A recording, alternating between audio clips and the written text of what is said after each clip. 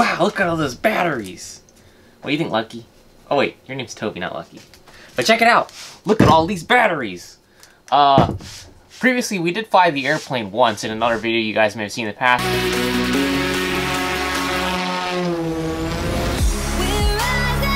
Well, we technically flew the airplane. I mean, it just got basically into ground effect and flying a little bit. But a lot of you guys were like, well, that's technically not flying. And you may actually be correct, because uh, it was really only flying within the chord span of the wings, and we were flying on older batteries. But now I have the correct batteries, so now we're going to answer the real question. Can someone with just model airplane building experience, albeit a lot of it, build and fly a real airplane in their basement? Well, we're about to go find out.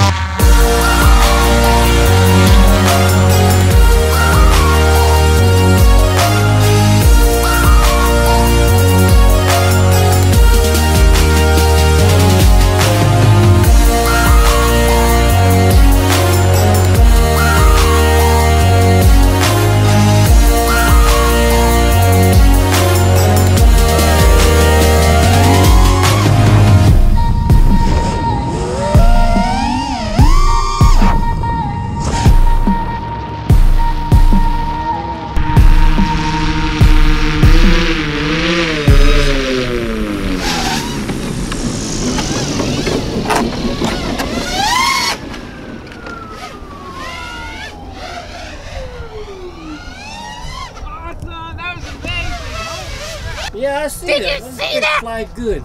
I flew the airplane. It flies great. Holy crap, it's got a lot of power now. I push that thing forward, the thing jumps into the air.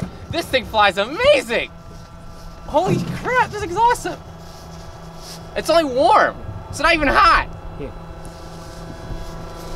I can keep my hand on that thing all day. We're good. We're golden. Fast it going. Uh, about 40 uh, miles. Actually, it's about 35 miles an hour because that thing reads five high. That thing on the air.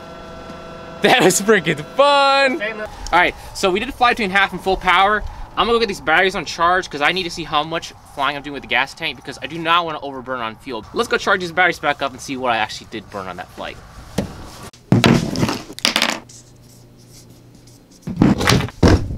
Well, it indeed does fly.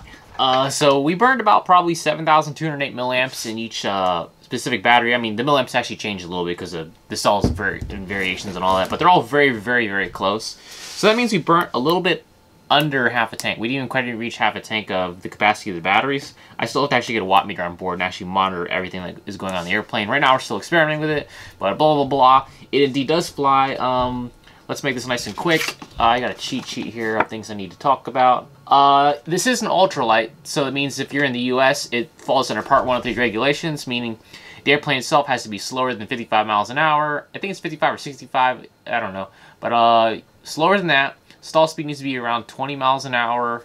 Uh, weight needs to be under 254 pounds before you put the pilot in there, but that's completely loaded, minus the pilot, of course. Uh, let's see. Uh, the motors are these Turnigy 150cc electric motors from Hobby King. Huge thanks to them. They made this project possible by donating those motors. They actually work kind of quite amazing for what they are because um, those are model airplane motors. They're not designed to run consistently at a high power setting, which I specifically used them in, and they held up great. They only were hot or just warm to the touch. I could leave my hand on them indefinitely, so that means they're not running past a temperature which they shouldn't be because uh, my hands aren't on fire and burning off. So big thanks to them. Uh, thanks to uh, Tattu for um, giving me a discount on batteries. Uh, I spent about probably 1200 on these, but they gave me half price off, which is nice of them. Uh, Banggood sent the charger, which uh, makes charging these things a piece of cake. Uh, where's that there? But yeah, check out this charger. This is the like the iCharger series. It makes charging these things pretty quick. Uh, come on, I need you to move right now. Stay right there. Let's see. Uh, the plane is primarily constructed of foam, fiberglass, and wood. Uh, some aluminum too. You should also check out the uh, previous build videos. I'll put them down linked below. Uh, it's probably worth watching because uh, the project actually did fly. It, it didn't. I didn't start a project and didn't finish it. This actually completely uh, is finished now, other than painting. We will probably paint the plane later on in the uh, spring of next year, and this is probably the last video you'll see on this airplane for a while because, well, it's a little saturated. let's move on to some other stuff. So, huge thanks to the people that made this possible. Uh, thanks to my friend Eric Monroe for coming out and shooting some of the video of the day we were flying this thing. Uh, thanks to Dewey uh, Davenport, he's the guy that has the uh, that owns the property. He uh, does biplane rides. Uh, huge thanks to people on Patreon. You guys all made this possible. Without you guys, I probably would would definitely be short changing some of the parts. I used all aircraft grade hardware in this thing, and everything is built very safely, if I could say that. At least everything that is a critical to flight. Like, you know, I put some tape on certain. Look at my pitot tube. That's just taped on. That's totally uh, okay, ghetto and flight worthy things. But if that tape comes off, it's not gonna, you know, cause the airplane to crash. But having cheap bolts break, such as like in the wing bolts, that will definitely cause a crash. Or having control cables break and stuff like that. Oh, also with the GoFundMe for the parachute, uh, I did acquire a BRS, but um, that BRS is too heavy, so I'm going to probably sell that and get the right one for this airplane. That one's actually made for the airplanes, uh, the next size category up. So that is way overkill, and I'm just lugging around dead weight, which ultimately works against me because it makes the plane more unsafe by carrying a too heavy parachute. Because uh, everything not flight critical, I want to keep the weight off the airplane because uh, weight hinders airplane performance, at least for light airplanes. So I think I have a few more clips here. Oh, hey, look. Look how big the dog is. If you guys remember the dog from the beginning. Here's Toby. He's super big now, even though he was a munchkin in the beginning. Grandma, I need to take some measurements. Mm, that's, yep. It's definitely small.